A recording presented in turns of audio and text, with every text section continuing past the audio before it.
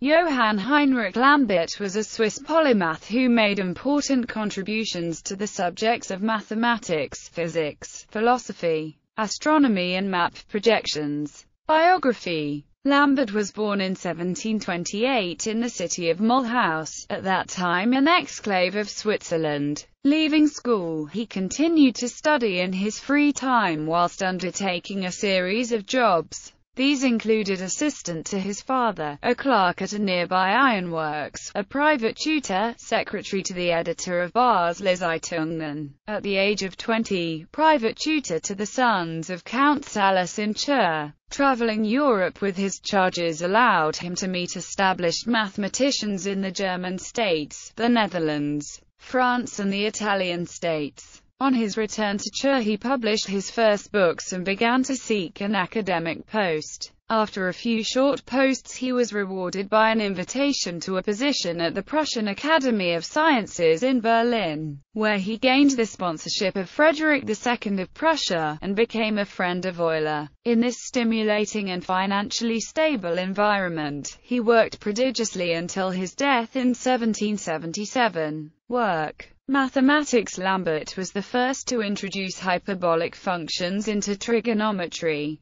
Also, he made conjectures regarding non-Euclidean space. Lambert is credited with the first proof that pi is irrational. He used a generalized continued fraction for the function tan x. Euler believed but could not prove that pi was irrational, and it is speculated that Aryabhata also believed this. In 500 CE, Lambert also devised theorems regarding conic sections that made the calculation of the orbits of comets simpler. Lambert devised a formula for the relationship between the angles and the area of hyperbolic triangles. These are triangles drawn on a concave surface, as on a saddle, instead of the usual flat Euclidean surface. Lambert showed that the angles added up to less than pi, or 180 degrees. The amount of shortfall, called the defect, increases with the area. The larger the triangle's area, the smaller the sum of the angles and hence the larger the defect C delta equals pi. That is, the area of a hyperbolic triangle is equal to pi, or 180 degrees, minus the sum of the angles alpha, beta, and gamma. Here C denotes, in the present sense, the negative of the curvature of the surface.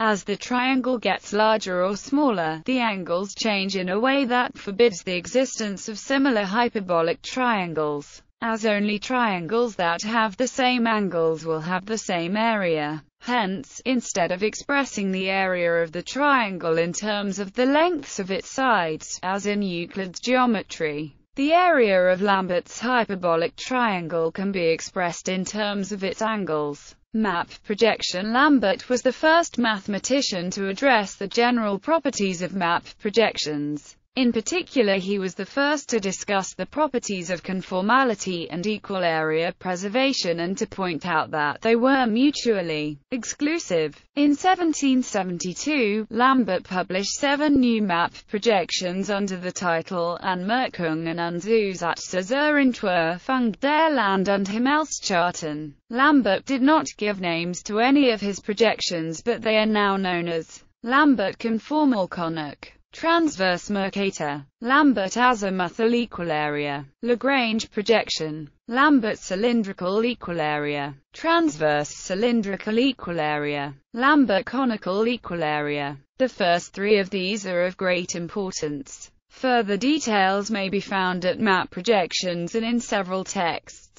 Physics Lambert invented the first practical hygrometer. In 1760, he published a book on photometry, the Photometria. From the assumption that light travels in straight lines, he showed that illumination was proportional to the strength of the source inversely proportional to the square of the distance of the illuminated surface and the sine of the angle of inclination of the light's direction to that of the surface. These results were supported by experiments involving the visual comparison of illuminations and used for the calculation of illumination. In photometry Lambert also formulated the law of light absorption, the Beer-Lambert law, and introduced the term albedo. He wrote a classic work on perspective and contributed to geometrical optics. The photometric unit Lambert is named in recognition of his work in establishing the study of photometry. Lambert was also a pioneer in the development of three-dimensional color models. Late in life, he published a description of a triangular color pyramid, which shows a total of 107 colors on six different levels variously combining red, yellow and blue pigments, and with an increasing amount of white to provide the vertical component. He was assisted in this project by the court painter Benjamin Calau philosophy in his main philosophical work, Neues Organon. Lambert studied the rules for distinguishing subjective from objective appearances. This connects with his work in the science of optics. In 1765 he began corresponding with Immanuel Kant who intended to dedicate to him the Critique of Pure Reason but the work was delayed, appearing after his death.